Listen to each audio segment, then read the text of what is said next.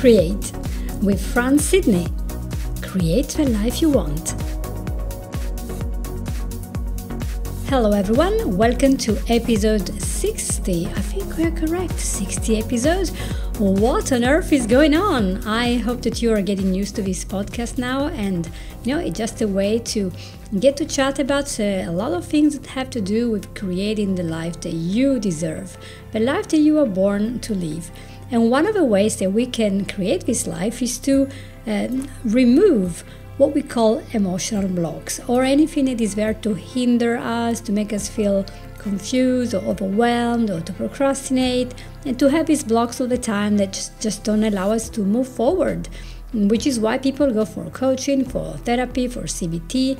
Everyone has a different way of looking for a resolution. And of course, uh, I have to say that hypnosis is one of the best ways of doing it. Why? Because through hypnosis, you can go into a really deep state of trance, of relaxation, and really talk to your subconscious mind and then receive very powerful suggestions. And if your mind is accepting those suggestions because you achieve this clarity, then it's all good. And of course, some people wonder exactly what is hypnosis? Is it dangerous? What is it? So I thought I would do an episode very short just to explain what hypnosis is. Stay tuned. So, personally, I have been trained and qualified as a clinical hypnotherapist, and there are lots and lots of different qualifications. So, I'm not going to tell you who is qualified to do what. I'm just going to tell you there is no law in England saying that you have to have a degree to be a hypnotist or a hypnotherapist. There are lots of diploma courses. So there are different levels of preparations, qualifications, and of course there is something called like um, uh, very good practice. And this is uh, actually controlled by the PSA, which is a professional standard agency uh, under which are all the nurses and doctors, dentists, etc., chiropractors, and of course also hypnotherapists and um, this is if IFEA accredited with their own course with the Complementary and Natural Healthcare Council, which I am. So I registered with them and with a PSA. However, uh, qualifications papers all good.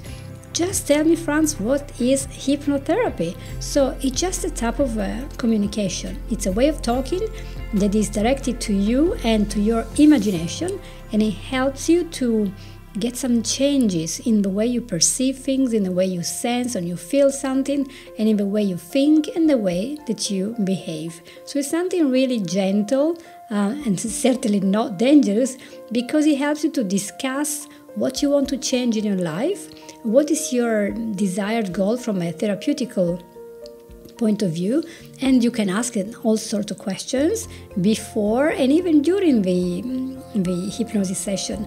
You will be giving a little bit of your medical history of your lifestyle and idea so you, you want to give an idea to the therapist of what's going on in your life. So we're not going to just start in out of the blue. We're not a prophet. We're not a, a magician or, or, or a witch or anything. We're not reading a tarot card. They are a medical professional and we just want to know what's going on in your life okay? So there's nothing really dangerous about that either. And also you will see that there are a lot of problems that you can tackle with hypnosis. And uh, you use your own willpower so it's always a consensual yes i want to work with this to um, drive motivation up to reach the goal that you have for example you might have anxiety or problem sleeping, or you might think that it's very difficult. For example, you have a little mm, toddler that is still bedwetting, and maybe the toddler is five years old and is still bedwetting. So you might use hypnosis for that. You might have issues with I don't know, something like um, weight loss. You keep eating and eating and you can't stop, and you're not hungry. You're eating out of boredom, out of frustration. It's just a habit, and you don't seem to understand why this is going on. So, literally, the ways you can use hypnosis to help your life are millions. Um, you can even have some minor skin conditions that are coming directly because you are stressed. Uh, for example, confidence can can affect your uh, the way you're feeling, and so even your performance when you're doing sports, music, concerts, or uh, for example, giving a talk or a workshop in public can be very different if you had hypnosis to understand how to remain calm and remain in control. And of course, it's very, very useful to use hypnosis if you wanted to have relief of perceived pain, especially chronic pain, because I remember doing a course of CBT for chronic pain a couple of years ago with the Open University, and it was really interesting to learn that um, people who suffer from chronic pain they have like um, a, quite a high threshold, right? But uh, there is something called the habit, and when they start feeling pain, their brain is um, how would you say recording much higher than actually is subjectively and so you have to kind of break that path and there are special groups that uh, are there with facilitators uh, to facilitate people to teach them how exactly the brain plasticity works so they can reduce this pain just by using the way of thinking about this pain and uh, one of example uh, that I vaguely remember was about people who couldn't walk much because they had for example, arthritis and joint problems. And um, I can't remember which type exactly it was, but I do remember that they they were able to to say, okay, I have this pain, but I still want to walk. I, I'm not gonna have this pain ruin my day. And so they were changing their process by talking about it using CBT and by lowering, um, actually putting up a threshold, and then realizing that the pain was actually lower because by walking more they were actually less stiff, and a lot of the pain that they had was actually caused by being more immobile and um, by their muscles being very stressed and stiff. Of course, this is just a one off example, so do not uh, now come to me and say, oh, it's impossible, you're not seeing all the cases. Of course, this is not a program that talks about pain, and we're talking just about hypnosis in general, and one of the many instances where it can be used, the doctor can refer you to have hypnosis to lower your pain. This is normal and it happens to a lot of people. And there are people who use hypnosis for having surgery without any um, anesthetic. Uh, I think uh, one very famous case has been documented of a guy that had brain surgery and with hypnotic. Uh, uh, abilities. So he was hypnotized, the, the person was there, and he had a, a wonderful operation and no need of any anesthetic whatsoever. Must have been an incredible experience, and certainly something I didn't want to do myself. So there we go. So another thing that you might be very uh, comfortable with and uh, familiar with, hypnosis is also used with uh, the pain to manage the pain that comes from IBS, so irritable bowel syndrome, which is not a specific disease, but a combination of lots of symptoms that we don't know where exactly are stemming from. It could be anxiety, it could be gut dysbiosis or anything. And so there is evidence to support the use of uh, hypnosis in this condition for adults and for children. And so the National Institute for Health and Clinical Guidance, which is a NICE, recommend the NHS should consider referring patients for hypnotherapy if the irritable bowel is persistent and is not responding to simple prescribed medicine. How beautiful! That's is very very good. So just make sure that your hypnosis uh, therapist is registered with the um, CNAHC, and so that's this is for the UK. I don't know about your country, wherever you're listening from, but it's just so good to know they have reached a center standard. They haven't done like a weekend course, and they go out in the world and they have no idea what they're doing. So just make sure of that. So, the basic for hypnosis is that the subject must want to, be hypnotized. You cannot force anyone to be hypnotized because you have to relax, to focus on yourself, and unless you really want to do, you will not be able to do anything of that. So, you can't force a person to think of something. Uh, of course, there must be an exception, right? If you say do not think of a pink elephant, you will start thinking about a pink elephant, but that I wouldn't call that hypnosis. So, um, normally speaking, no hypnotist that I know of, even very famous stage hypnotist, has any power whatsoever to hypnotize people.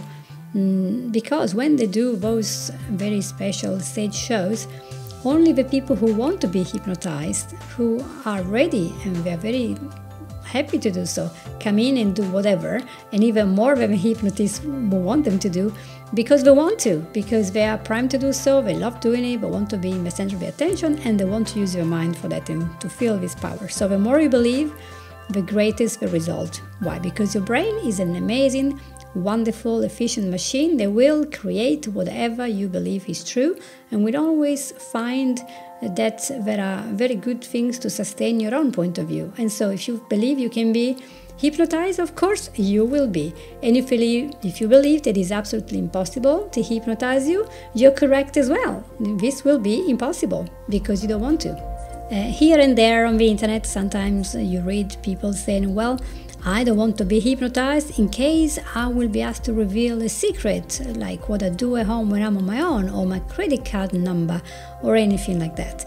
But actually, no, this is not possible. I wish it was, you know, it would be so fun. I just ask you to give me your account number and I can log in and get all your money. How wonderful! No, it is not possible at all because you, when you hear the hypnotist talking to you, you have your free will, your agency is completely there, and you can comply with whatever they say. For example, relax or go down the steps or tell me your biggest fear, whatever the question is. But you do not have to comply with anything. At any point during the hypnotic session, you can actually open your eyes, stand up, and go for a walk, come back, and that will not be impossible, be very easy, very natural. You can blow your nose, you can have some water, you can move around, you can do whatever you want. But a hypnotist cannot make you do anything, and if he does ask you something that you think is not good for you to do, you simply don't do it. And if it's something dangerous or I don't know, something that will be illegal, you simply get up and walk out because this is not a proper hypnotherapist. Obviously, he's not a serious person, but he has no power whatsoever to make you reveal any secret. And I know this because um, not only because obviously the training, but because um, one of my trainers, Mike Mandel, who has an academy, he has worked uh, with forensics, with the police for many, many years uh, out there in Canada, and he has recounted so many cases working with people. And the police was asking him, Can you read the mind? Can you control? And no, he can't, although he's been a hypnotist for 20 years, 30 years, is, he's amazing, but he cannot do that. So don't worry about revealing your secrets uh, while you are in hypnosis. It's just a really good sense of relaxation, the same that you will reach if you're watching television or you're laying on the beach or you're just listening to some music or doodling about. Just a, a theta alpha, whatever you want to call it, state of relaxation where you are more likely to listen to instructions. But this will not uh, bend anything that you will do because your actions are always your own responsibility. In fact, nobody on earth can force you to do anything. And this is a principle of the whole universe. Whatever you do is always because of your decisions, and uh, you decide, well, I've got a gun on my face, they're gonna blow it. If I don't do something, then you still have a choice. You don't do something, or you do it and you get blown up. But there is always a choice. Nobody can make you choose something else just by telling you. So that's is out of the way. And uh, also another thing about getting stuck. Some people have this weird idea that you can be in hypnosis and remain in hypnosis and being stuck. Guys, you watch too many movies, okay? Stop watching Dracula and horror movies in real life, a hypnotherapist cannot make you stuck.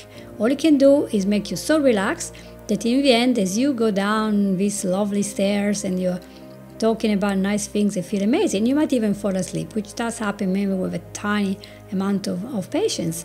But this will not be being stuck. If you fall asleep, very simply, when you wake up, you are back to your normal day, and you might even think, why did I fall asleep? I was just there talking. You were just very relaxed and maybe you were a little bit tired, but you're certainly not stuck. And hypnosis is just talking to you and then listening to you, listening to the responses, and use very powerful words to elicit a state of happiness and relaxation, and yet dig in to find out what, what happened, why, where, uh, what happened to you that made you as you are today, what you have fears or anxiety or whatever there is. And also, the last observation was some people, uh, very few luckily, are convinced that um, there are lots of practices that should not be done because they will attract evil spirits or maybe mind control or who knows what. Well, whether you are a Christian or not, if you believe that uh, by being in trance you are attracting evil spirit. You have to realize, first of all, that a natural person, when is about to wake up or about to go to sleep, or maybe watching a very boring movie or um, university lecture, is in a state of trance. So how is that possible that every time we we doze off a little bit, get bored, and our mind goes a little bit far away? That's a trance. How is it possible that every time an evil spirit comes inside us? Uh, you know, if you want to believe in the scriptures, then you have to understand that uh, an evil spirit cannot dwell in a clean space. And when you're doing hypnosis, you are really cleansing your place. You are taking care of all the rubbish, all the toxins, all the evil, whatever is bad inside you that was left there by the actions of others, by your own thinking, by patterns, and you're really clean and refreshed, not because you're doing a ritual cleansing, such as you would do maybe in the Christian world when you have a baptismal uh, service, but really it's like a cleansing of what you don't need. Because a lot of us have what we call a burden, a weight that we carry for many, many years. It could be the weight that you cannot be the person that you always wanted to be. It could be a very bad weight of having been neglected or not loved, having been rejected, having failed, or having contemplated the divorce of your own parents, or maybe some violence in your life, rape, abuse, all sorts of stuff. And sometimes we seem to be unable to move on because we're carrying the weight, the memories, and the, the meaning of all these memories in our life. And that is the bad thing. So that we are carrying all of this weight that we should not be carrying anymore. We should just sort out, process, set aside, give our learning and upgrade and say, okay, I've learned this, but now I need to live my life. And that's where hypnosis comes really, really useful because it's a really gentle tool to go down into your inner mind and to explore safely and calmly what's going on, why you have created a belief, and how you can get rid of it. So don't worry about the spirits coming to you because you know they're not coming through hypnosis. Maybe you will find another way if you want to be possessed, but it will not be through a hypnotic session which is designed to help you. So, if you were thinking of having a hypnosis, there are two types of hypnosis. There are there is hypnosis as such, so you close your eyes, you will count, you know, from 10 to 1, and then you start going into the session, and then you will count back. So if you will count from 10 to 1, you will count again 1 to 10, etc. And then there is another type of hypnosis, which is called conversational hypnosis, where you start by talking and then you realize you're actually in hypnosis because you're feeling more and more like you're really deeply focused on the real meaning of your issue. And that's very interesting because it's very, very powerful and easy to work with for those who feel that maybe they don't want to close their eyes to begin with, but uh, it's really a matter of preferences. But in any case, what I would say about hypnosis is it really has changed my life. I've done so much stuff differently now. Uh, you know, since a few years ago, because I had so many sessions on myself and just changing my beliefs and understanding that I am powerful and I can do anything I'm set to do and I can fulfill my potential. So, hypnosis has this, together with coaching as well, can really give you an understanding of your huge potential as a human being, an understanding that we are not our past. We are not the bad things that happen to us. We can move on, we can heal, we can change environment, even if it's just the case of changing our inner environment. And sometimes the situation outside is not very very good or very pleasant, but we can still change how we perceive it. And so, my hope is that after this episode, you will be a little bit more open and more calm about having a hypnotic session. And if not, you can still get so many great results with coaching if what you need is a little bit more drive, a little bit more clarity, and having a set strategy and an accountability person right there to help you to propel yourself so you can get what you want instead of faffing around the whole time, spreading yourself flat and not doing anything in the end of the day. So I hope that this episode was useful for you. Thank you so much for being with me and let me just grab my piece of paper with a note so I can tell you what happens next time. I found it. Yes, next time I want to talk about what happens when kindness is in our life and how that affects our brain. And that's very important, something very important to have in our life kindness. Why is it helpful to be kind and to receive kindness? So let's talk about it in the next episode. By that time, school will be all going in full force for everyone. My art classes are, are gonna be all going, so it's gonna be a really great week. And I hope that this is gonna be a great week for you full of preparation for a wonderful autumn or fall, as uh, we call it in the States. And I hope that you will be so eager to keep going with your goals that you started up in the beginning of the year and ready to smash it. So, thank you for being with me, and I'll talk to you next week. Bye bye. You've listened to Create with Franz Sidney.